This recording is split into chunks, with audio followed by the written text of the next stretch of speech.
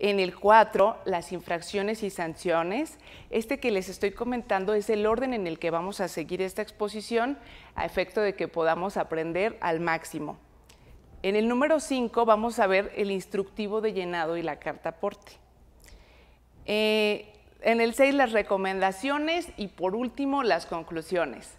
Entonces vamos a estar espaciando esos, esos, espacios precisamente de preguntas y respuestas porque sabemos que seguramente tienen por ahí algunas dudas en la implementación directamente en sus empresas o con sus clientes que nos encantaría escuchar. Y no solo eso, además darles las herramientas para que ustedes puedan buscar la solución que requieren.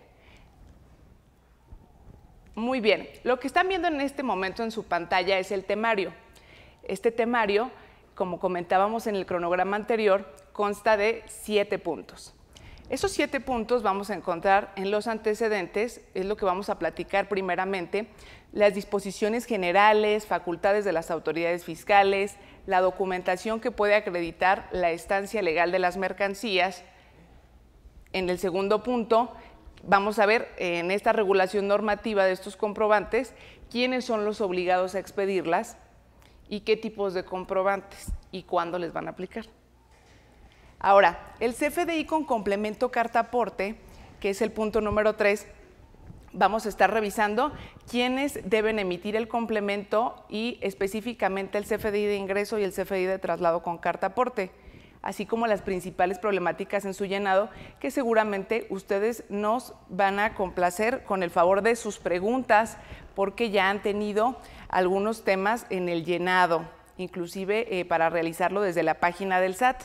Ahora, en las infracciones y sanciones, ¿qué es lo peor que me puede suceder? Si yo no emito correctamente estos comprobantes, ¿cuáles son las implicaciones fiscales de dejar todo para el último y no estarlo emitiendo en este momento? Y por último, vamos a ver instructivos, estándares, eh, catálogos y todo lo demás con recomendaciones y conclusiones. Y ahora sí, vamos a comenzar. Como antecedente tenemos lo siguiente, las políticas públicas, que es esto que los partidos políticos eh, de alguna manera plantean para que puedan realizar el proyecto que tienen como nación. Estas políticas públicas aterrizan y son los ejes del Plan Nacional de Desarrollo que también sirven para realizar las reformas fiscales que requiere el país para alcanzar estos objetivos, así como la carta porte. Muy bien, miren, les platico. En el tema de los antecedentes, vamos a encontrar que el primer antecedente del Plan Nacional de Desarrollo fue el plan sexenal elaborado por el general Lázaro Cárdenas como plataforma de su campaña electoral y una vez iniciado su mandato como orientación general de su gobierno. Entonces, estos lineamientos constitucionales mencionados buscaron convertir esta práctica en obligación de toda presidencia, a fin de dar coherencia y continuidad a la Administración Pública Federal. Por ello, todo ejercicio presidencial debe plasmar en un documento estructurado y consensuado con la sociedad los objetivos que propone alcanzar y los medios para lograrlo. Esta parte es muy importante porque vamos a entender cuál es el proyecto que tenemos como nación y cuáles son los medios que se van a estar utilizando para lograrlo. Ahora, uno de estos ejes rectores del Plan Nacional de Desarrollo del presidente Andrés Manuel o del Partido Morena es el siguiente, no más incrementos impositivos. Y nosotros vamos a encontrar o podemos relacionarlo, por ejemplo, con aquello que escuchábamos en los spots de Peña Nieto. ¿Recuerdan que se veía cómo caminaba en un comercial y decía moviendo a México? Y entonces él tenía precisamente como eje rector de su Plan Nacional de Desarrollo mover a México con la firma de diversos tratados y convenios internacionales. Ahora, ustedes recordarán también la lucha contra el narco, que precisamente era un eje rector del presidente Felipe Calderón. lo que estamos viendo en este momento en su pantalla es no más incrementos impositivos y como bien sabemos, parte de los ejes rectores de este Plan Nacional de Desarrollo que, plantea el presidente Andrés Manuel es lo siguiente, eh, obras y beneficios o apoyos sociales. Para esto vamos a encontrar lo siguiente. Si no habrá incrementos de impuestos en términos reales ni aumentos a los precios de los combustibles por encima de la inflación, todos estos, ¿verdad?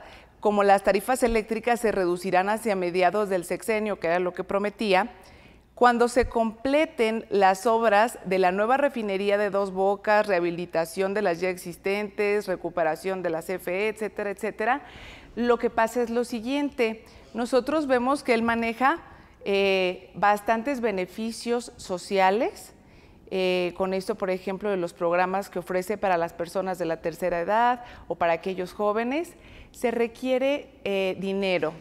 Y este dinero principalmente lo va a obtener de la recaudación de impuestos.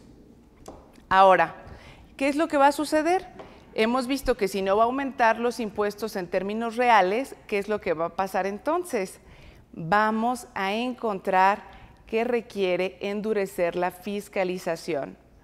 Es decir, no es necesario aumentar los impuestos en términos reales, tampoco es necesario crear unos nuevos, ni subirles la tasa, ni nada de eso, porque lo único que se requiere es aplicar las normas ya existentes con algunos eh, puntos finos y poder así obtener la recaudación que se requiere. Ahora, como antecedente también tenemos que se requiere eh, identificar a detalle las mercancías para tener la certeza de que se transporta y las rutas que sigue. Es decir, el gobierno encontró la necesidad de identificar a detalle qué es lo que se está transportando y por qué rutas está sucediendo esto. Ahora, vamos a encontrar lo siguiente también. Conocer el origen y destino de las mercancías para los casos de verificación aleatorios que permitan anticiparse a los riesgos o amenazas del traslado. Esto le va a permitir a la autoridad que pueda pensar mejor sus operativos, ya que vamos a poder conocer el origen y el destino de las mercancías, así como brindar la información para establecer las estrategias que garanticen la seguridad de tránsito en las distintas rutas. Todas estas que estamos platicando son las necesidades que la autoridad encontró. Es decir, la autoridad vio que esto era lo que estaba faltando, que era lo que quería conseguir y cómo le iba a hacer. Vamos a ver en tema de carta aporte cómo es que él va a obtener toda esta información que requiere y cómo es que eh, le va a servir todo lo que nosotros en algún punto del camino timbramos inocentemente. Miren, también se requiere contar con elementos que permitan verificar las operaciones realizadas por las personas que participan en el traslado de las mercancías. Esto quiere decir qué personas intervienen, desde el remitente hasta el destinatario, el operador, el dueño del camión, etcétera, etcétera. Es decir, quiere conocer que cuando algo se traslade, quiénes tuvieron algo que ver, quiénes. Ahora, Vamos también a estar eh, comentando el tema de proporcionar los elementos a las dependencias públicas responsables de la vigilancia y control de las vías de paso para verificar las mercancías y acreditar que su legal estancia y o tenencia durante su traslado.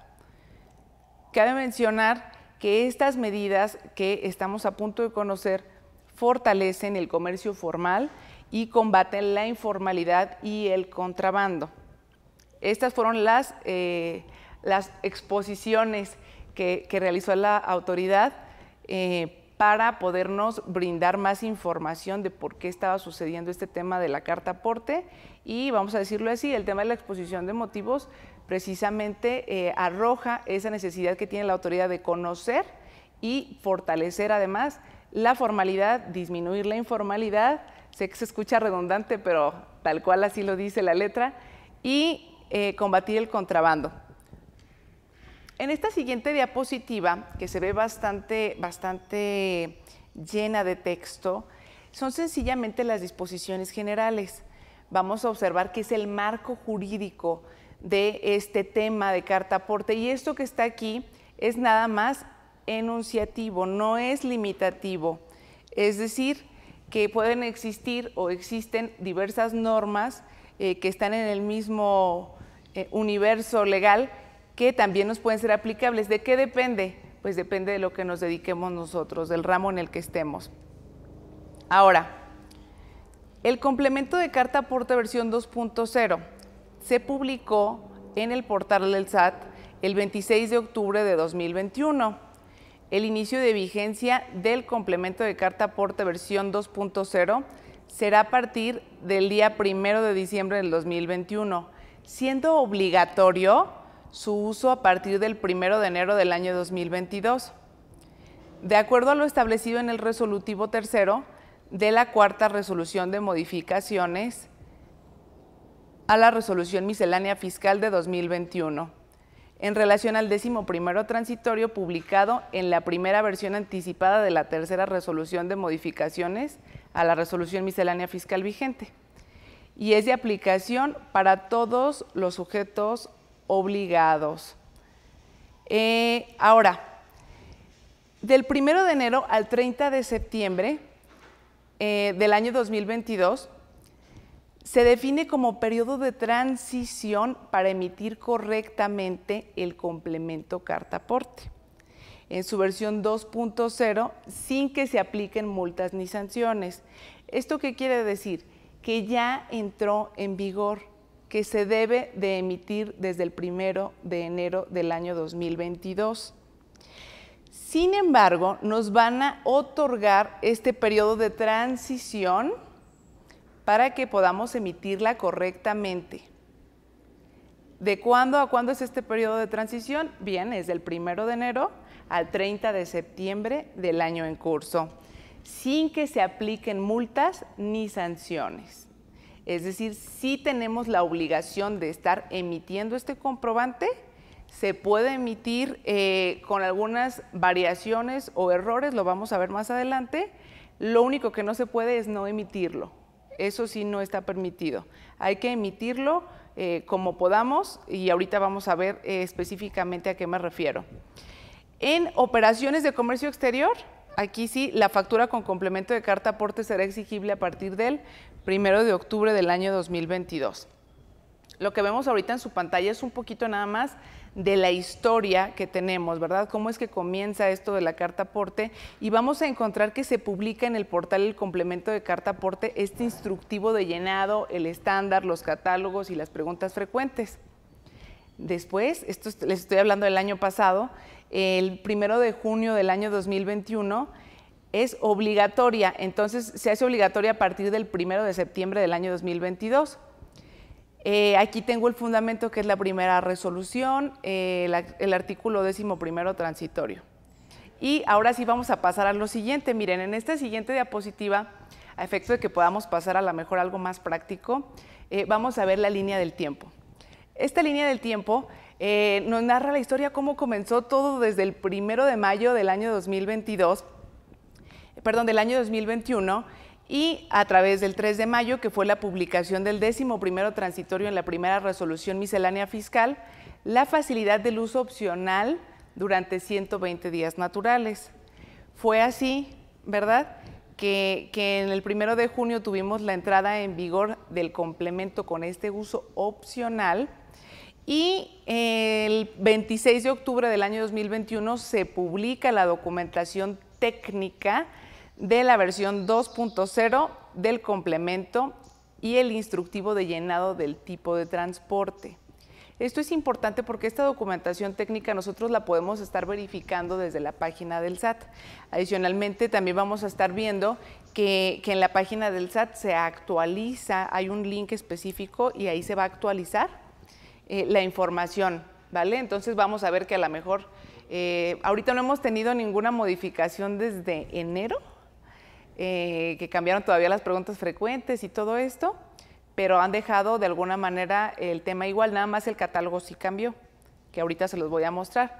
Nosotros ya estamos bastante familiarizados con el tema de los catálogos porque nosotros manejamos el tema de la facturación en nuestro trabajo del día a día, ¿verdad? Ahora, el 25 de noviembre del año 2021 se reforma el transitorio décimo primero de la primera resolución miscelánea fiscal de 2021 para establecer el uso obligatorio aquí ya no es opcional, este ya es obligatorio, del complemento carta aporte. Esto sucedió el 25 de noviembre del año 2021. Ahora, el primero de diciembre del año 2021 inició la vigencia de la versión 2.0 de este comprobante. Fíjense, hasta pasamos de la 1.0 a la 2.0 y ni cuenta que nos dimos porque en ese momento eh, todavía nuestros eh, proveedores de servicios de facturación no tenían preparado el software para poderlos estar emitiendo, ni siquiera el SAT. Ahora, este uso es opcional del primero de diciembre. Eh, y comenzó a ser obligatorio, como lo estamos viendo en este momento en la pantalla, el primero de enero del año 2022, de la versión 2.0, con su complemento carta aporte. ¿Qué es lo que estamos viendo en este momento en su pantalla? Las disposiciones generales. Estas disposiciones que nosotros estamos viendo tienen que ver con que vamos a tener esta facilidad hasta el día 30 de septiembre del año 2022. Excelente, aquí nuestro equipo de producción nos comenta que nos estamos conectando directamente a Facebook. Un placer tenerlos a todos ustedes. Muchas gracias por acompañarnos en esta mañana de viernes. Es un verdadero placer. Eh, mi nombre es Karina Tapia. Tengo una maestría en Administración de las Contribuciones por nuestra máxima casa de estudios, la UNAM y me encantaría escuchar eh, sus preguntas, sus comentarios. El tema del día de hoy es carta aporte. Estamos a 22 de julio del año 2022 y me encantaría saber si ya la están aplicando en sus empresas y a qué dificultades se han enfrentado. En este momento no ha salido otra resolución que nos otorgue más plazo. Entonces, como lo vemos en la pantalla, eh, la tercera resolución de modificaciones a la resolución miscelánea fiscal para el año 2022 nos establece esta facilidad hasta el día 30 de septiembre del año 2022. A ver, en este momento, todos nuestros amigos de Facebook, por favor, acompáñenos compartiendo esta transmisión, regálenos un like, que con todo gusto vamos a estar con ustedes en esta mañana. Ahora, Miren, lo que en este momento ven en la pantalla indica lo siguiente. Se reforma el transitorio cuadragésimo séptimo de la resolución miscelánea fiscal para 2022, publicada en el Diario Oficial de la Federación el 27 de diciembre de 2021 para quedar como sigue. Y esta parte vale la pena leerla porque es crucial para que nosotros podamos determinar eh, hasta dónde podemos cometer un error. ¿Vale? Vamos a ver lo siguiente. El uso del CFDI con complemento carta aporte a que se refieren las reglas 2771 a la 27712 será aplicable a partir del 1 de enero del año 2022. ¿A partir de cuándo va a ser aplicable? A partir de enero del año 2022, amigos y amigas. Eso significa que ustedes ya tienen que estarla emitiendo, todos ya tendríamos que estar emitiendo estos comprobantes. Eso no cambió. No es que no tengamos la obligación de emitirla, la tenemos y la tenemos desde el día primero de enero del año 2022. Ahora, para los efectos de lo dispuesto en el artículo 84, fracción cuarta, inciso D, y 103, fracción 22 del Código Fiscal de la Federación, se entiende que cumplen se entiende que cumplen con lo dispuesto en las disposiciones fiscales aquellos contribuyentes que expidan el CFDI con complemento carta aporte hasta el 30 de septiembre del año 2022 y este no cuente con la totalidad de los requisitos contenidos en el instructivo de llenado del CFDI con complemento carta aporte, al que se le incorpora la carta aporte, publicado para estos efectos en el portal del SAT. Esto quiere decir, estimadas amigas y amigos, que nosotros tenemos la obligación de emitirla desde cuándo? Desde el primero de enero del año 2022. Sin embargo, vamos a poder durante este periodo, el que abarca hasta el 30 de septiembre, emitirlo con errores y se entenderá que estamos cumpliendo con las disposiciones fiscales. Ahora, vamos a ver lo siguiente. Este que vemos en la pantalla, eh, que fue tomado precisamente del SAT, vamos a encontrar lo siguiente. Es un ejemplo de flujo de operación de traslado de mercancías emitiendo una factura de tipo ingreso con complemento carta aporte. En, en la presentación, vamos a ver que más adelante tenemos los cinco tipos de comprobantes fiscales digitales por Internet que existen. En este momento nosotros conocemos que tenemos el de ingresos, el de egresos, el de nómina, el de pagos y el de traslado. Muy bien, en este momento vamos a hablar del que tiene que ver con ingreso, del tipo ingreso, el primero que mencionamos. Este ejemplo de flujo de operación de traslado de mercancías emitiendo una factura de tipo ingreso con complemento carta aporte. Nos muestra lo siguiente. Lo primero que observamos es que dice transportista. Transporte, dice aquí autotransporte federal. Esto quiere decir que este de tipo ingreso les aplica a las personas que son transportistas, que están en el autotransporte federal, ¿vale? Ahora, en primera instancia nos plantea lo siguiente se contrata a persona o empresa dedicada al transporte de bienes o mercancías. Ese sería el primer paso. El segundo paso, ¿qué pasa?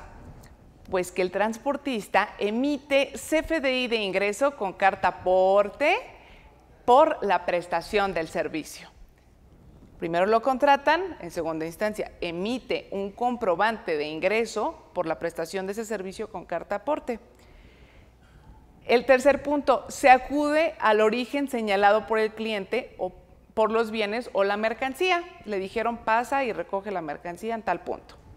En el número cuatro, la autoridad responsable realiza la verificación aleatoria en punto de control. También más adelante vamos a ver quiénes me pueden revisar y qué documentación es la que me van a solicitar. El punto número cinco es que ya se trasladan esos bienes o mercancías en territorio nacional con la carta aporte que acredita la posesión. Aquí es muy importante conocer este tema porque únicamente acredita la posesión hasta el destino proporcionado por el cliente. Es decir, una carta aporte no es un documento que ampare, por ejemplo, la propiedad de un bien. Solamente la posesión, la tenencia en ese momento, el traslado de, de esas mercancías o bienes. Ahora, se entregan los bienes o mercancías en el destino solicitado, es el punto número 6.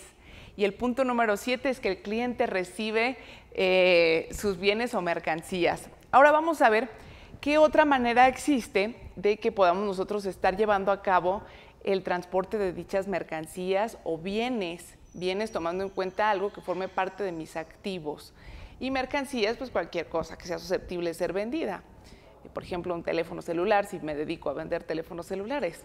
Ahora, lo que estamos viendo en la pantalla en este momento es el traslado de medios eh, por medios propios. En este traslado por medios propios vemos que el encabezado dice flujo de operación de traslado de mercancías con factura de tipo traslado con complemento carta aporte.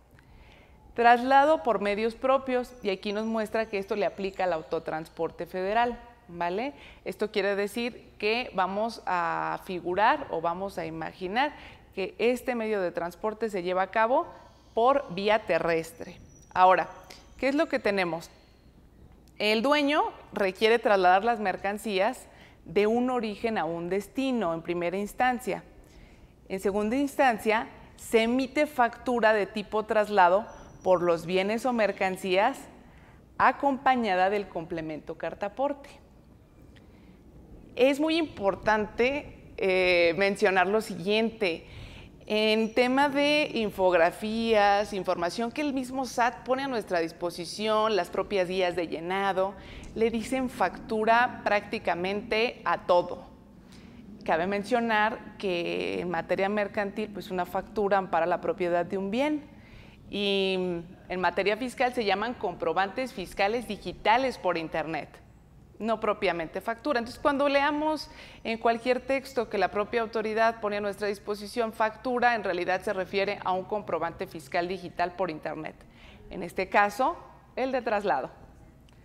¿Qué encontramos en el punto número 3? Traslada sus bienes o mercancías al destino requerido acreditando la posesión con el archivo digital o representación impresa. ¿Representación impresa de qué? De este CFDI de traslado, con complemento carta aporte en todo caso. En el punto número 4, la autoridad responsable realiza verificación aleatoria en un punto de control. ¿Y qué es lo que pasa? Pues que lo revisan y traía todo bien, entonces eh, se realiza ya la descarga en el punto número 5 de los bienes o mercancías en el destino requerido. Ahora, es muy importante saber eh, cuáles son las facultades de las autoridades fiscales en términos del artículo 42 del Código Fiscal de la Federación.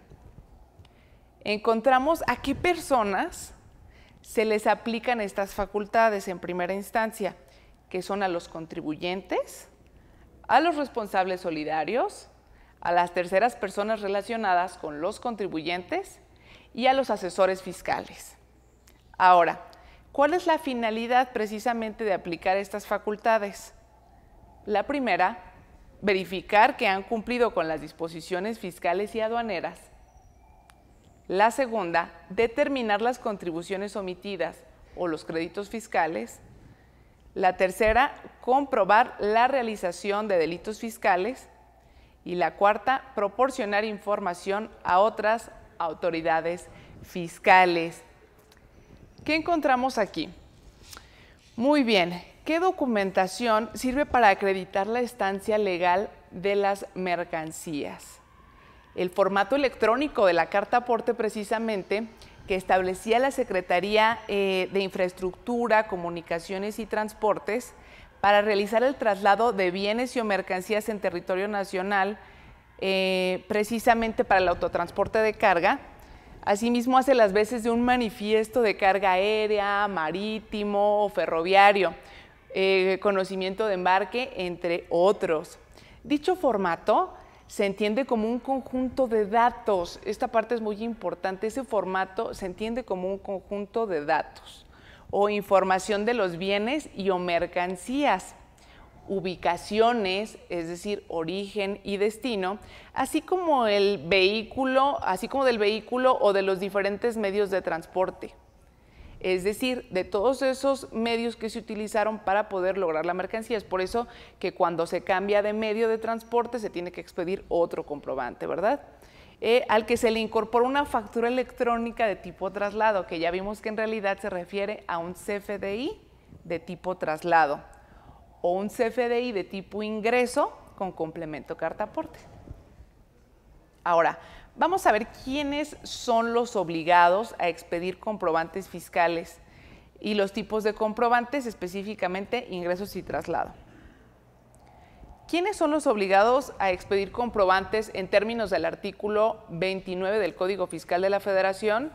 Bueno, dice lo siguiente, que cuando las leyes lo establezcan, ¿verdad? Cuando las leyes establezcan la obligación de expedir comprobantes fiscales digitales por Internet, o por los actos, dice aquí, o actividades que realicen, por los ingresos que se perciban. Fíjense, estos son los supuestos por los cuales me voy a estar obligado como contribuyente a estar expidiendo un comprobante fiscal, por los actos o actividades que realicen, por los ingresos que se perciban, por las retenciones de contribuciones que efectúen los contribuyentes deberán emitirlos mediante documentos digitales a través de la página de Internet eh, del Servicio de Administración Tributaria. Entonces, las personas que adquieran bienes, disfruten de su uso goce temporal, reciban servicios, realicen pagos parciales, diferidos o que liquidan saldos de comprobantes fiscales digitales por Internet, es decir, esos, este, cuando recibimos pagos, los recibos electrónicos de pago, o aquellas a las que les hubieran retenido contribuciones, deberán solicitar. Esto, esto fue parte de la reforma que precisamente este, se dio este año por lo siguiente, Vemos aquí que el artículo 29 de código dice lo siguiente, deberán solicitar el comprobante fiscal digital por Internet respectivo. Esto quiere decir que no solamente existe la obligación de expedir, sino que también existe la obligación de solicitar. Esto se dio precisamente en la reforma de noviembre del año pasado. Es decir,